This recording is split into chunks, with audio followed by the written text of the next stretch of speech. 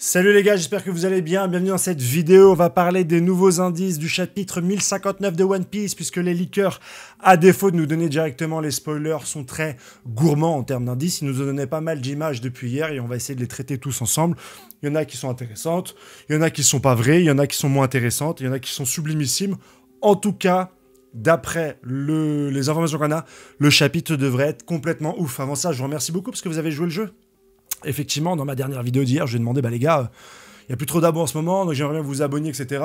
Et franchement, il y a eu un engouement, j'ai eu énormément d'abonnements et je suis vraiment très content de, pouvoir un petit peu compter sur vous comme ça quand j'ai besoin d'abonnement, quand j'ai besoin de sollicitude, quand j'ai besoin de votre amour. Vous êtes là et en masse, donc c'est hyper gentil. Je vous remercie, franchement, ça me fait plaisir. J'ai eu le smile tout le dimanche, j'ai vu mon compteur d'abonnés comme ça monter, monter, monter. Je me suis dit, bah voilà, je suis plus si loin des 35 000 grâce à vous.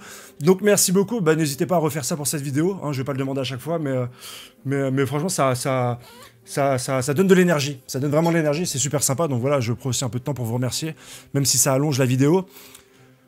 Pas mal de spoils qui confirment que ça va tourner autour du personnage de Barbe Noire. Ok, euh, j'avais parlé hier de Sabo parce que Sabo quand même appelle, euh, appelle Dragon et on n'a pas de spoil allant dans ce sens-là. J'espère qu'Oda va pas encore nous faire patienter. Il a le talent pour ça. Oda, c'est le champion des ouvertures de portes sans jamais prendre le temps par la suite d'expliquer toutes ces intrigues qui nous font jaser, aussi bien sur YouTube que sur euh, Twitter, avec des théories, des machins, des trucs. Et j'espère qu'il va vraiment se prononcer euh, sur ce qui s'est passé à la rêverie. On attend depuis assez longtemps maintenant, Hironoda, tu nous dis ce qui se passe avec Sabo. Ça fait plus de 4 ans que voilà, il y a un problème avec Sabo. On a, tous pensé à un Marineford 2. Là, c'est autre chose. On veut savoir, Oda. On veut savoir. Est-ce que c'est Katarina Devon derrière? Est-ce que Sabo a un, trouble de la personnalité? J'ai trouvé cette, euh, théorie sur Twitter et je l'ai trouvé hyper intéressante. Un mec a dit, bah voilà, vu le choc qu'a subi Sabo, euh, rappelez-vous qu'on l'a pris pour mort au bout d'un moment, avant que Dragon le récupère.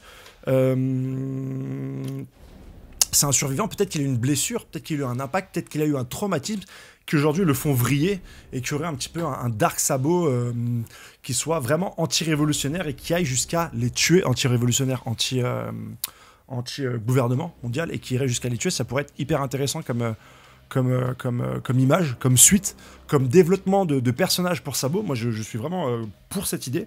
Mais quelle que soit l'idée, Oda développe là. Et dis-le nous, c'est bon, c'est la saga finale. On veut savoir, on en a marre des intrigues.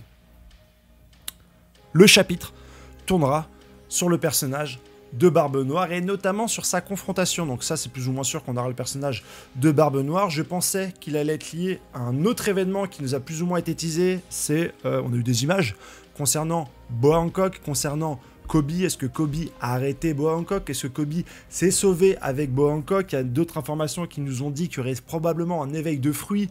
J'ai pas eu le temps de regarder si c'était vrai ou faux, mais voilà.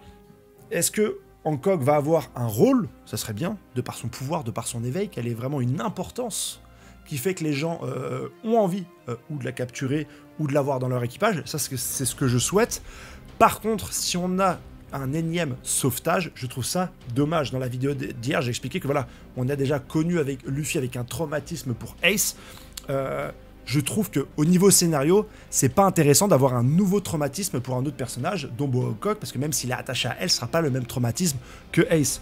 Beaucoup de gens ont interprété que j'avais dit que Luffy s'en foutrait si Bo se faisait capturer, bien sûr que non. Il va pas s'en foutre, il va essayer de la libérer, etc. Mais je trouve que ça serait une redite. On a déjà eu Robin, on a déjà eu le personnage de Ace. Je pense que voilà, au niveau enlèvement, on n'est pas trop mal. On a déjà vu euh, pas mal de choses sur les personnages de One Piece. Aujourd'hui, on peut aller vers autre chose et j'aimerais avoir, un Bo Hancock fort.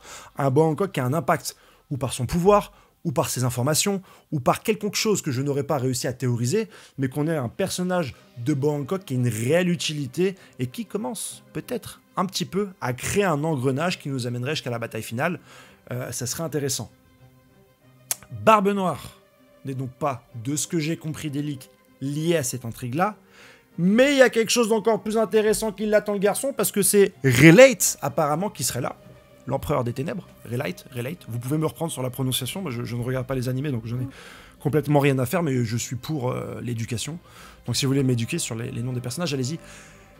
On devrait avoir une confrontation entre Barbe Noire et Relate, et là je dis oui, oui, parce que le personnage de Relate était pour l'instant mis de côté, un petit peu comme un vieux sage qui, bien que très puissant, bien que le Yonko n'avait pas l'air de s'intéresser plus que ça à la politique actuelle de One Piece, Et là, qui bouge un petit peu face à la menace Barbe Noire, ça veut dire que, mec, lui, qui n'a même pas bougé pour le fils de son capitaine, lui, qui n'a pas bougé pour Kaido, lui qui n'a pas bougé pour tant de personnes, là s'il bouge pour Barbe Noire, ça veut dire que Barbe Noire c'est vraiment quelqu'un d'intéressant, c'est vraiment quelqu'un de méchant, c'est quelqu'un qui a une intrigue, c'est quelqu'un qui va très certainement foutre la merde. Donc euh, Relate, le prince des ténèbres, se déplace en personne pour affronter celui qui a le fruit des ténèbres, je trouve ça excellent, voire excellentissime. Et en plus, derrière ce combat, s'il y a une logique, s'il y a une histoire, s'il y a un cataclysme, s'il y a le début d'un engrenage, je suis pour. Je veux pas juste un combat fan service, je veux un combat qui raconte quelque chose, qui raconte un problème encore plus gros. Et si Barbe Noire arrive à battre Elite, là franchement je pense qu'il va prendre pas mal de galons et pourquoi pas une prime. Mais c'est pas le plus intrigant. C'est pas le plus intrigant, il y a plusieurs images, dont une de, Digimon qui ressemble à un énorme chevalier. Euh, il y a des leaks aussi qui parlent du SSG. Et notamment dans ce combat, il y aurait plus ou moins le SSG de lier. Le SSG, je vous rappelle, c'est une arme de la marine qui euh, a poussé ceux-ci à se débarrasser des 7 puissants corsaires, dont Mihawk, qui a plus ou moins le niveau Yonko d'après sa prime et d'après certains. Donc, c'est une arme tellement puissante qu'ils se sont dit, bon les gars, euh, on va se priver des 7 puissants corsaires qui étaient quand même un des trois bastions qui tenaient l'équilibre de ce monde. Et quand on voit un petit peu ce Digimon-là en chevalier géant, moi je me suis toujours dit, depuis Punk Hazard et depuis qu'on a appris que le SSG existait, j'ai toujours imaginé que le SSG soit l'aboutissement, et ça j'en ai parlé aussi avec Joker sur, euh, sur, euh, sur Twitter, je suis complètement d'accord avec lui, l'aboutissement des recherches du docteur Vegapunk et notamment des informations qu'on a, euh, qu'on a eues sur Punk Hazard, c'est-à-dire qu'il fait des recherches sur les fruits du démon, il fait des recherches sur les géants, et il fait des recherches sur les robots. Si tu fais une armée de géants à fruits du démon à robots, tu te dis que dans le monde du One Piece, ça peut potentiellement être une arme de destruction massive assez intéressante qui pourrait pousser la marine à se détacher des 7 puissants corsaires. Et quand je vois ce Digimon là, je me dis j'aimerais bien que ce soit ça. Un petit peu comme les Kuma. Vous avez vu qu'on a une armée de, de, Kuma, mais là avec des géants, euh, pourquoi pas en armure ou en robot, et pourquoi pas avec des fruits du démon, ce serait complètement ouf. Et en plus, ça légitimerait Elbaf, parce que pour faire face à cette menace, Luffy serait obligé d'aller sur l'île des géants pour demander leur aide pour avoir des soldats à la hauteur euh, de l'armée de la marine qui serait composée de géants robots avec des fruits du démon. Ça serait ouf et ça légiférerait vraiment, ça rendrait utile Elbaf. Parce qu'aujourd'hui, ils vont à Elbaf, on va à Elbaf uniquement parce que un jour dans One Piece, on a croisé des géants et que euh, Usopp a fait une, une, une promesse. Mais aujourd'hui, dans la route vers le One Piece, dans la route vers l'Octail, t'as pas besoin d'aller sur Elbaf. Typiquement, mis à part s'il y a un Rio Poneglyph là-bas, t'as pas un besoin absolu d'aller là-bas. Et moi, j'aurais trouvé ça intéressant. J'aurais trouvé ça vraiment intéressant. C'est peut-être complètement autre chose. Ce, géant qu'on voit à dessiner, c'est peut-être complètement autre chose. C'est peut-être l'éveil d'un fruit. Ça peut aussi être l'éveil d'un fruit, hein, bien sûr. Ça peut être une attaque de barbe noire. Ça peut être une attaque de relate en forme de, de lumière ou de haki qui prend la forme comme ça d'un géant et d'un ange. Ça peut être énormément de choses. Mais aujourd'hui, euh, mon imagination et les théories que j'ai fait me poussent vers ce chemin et ça aurait vraiment été quelque chose d'intéressant, je le pense. Euh, on a eu un folix sur Yamato. Et on a vu une image de Yamato qui est passée, mais je crois que le mec, euh, quelques heures après, a dit non, c'est pas ça. C'est un peu chiant. J'essaie d'avoir des informations comme ça au compte-goutte et qui sont pas tous légiférées, mais en tout cas, ça va être un chapitre de dingue. Et normalement, c'est plus ou moins confirmé qu'on aura un affrontement entre Barbe Noire et Relight.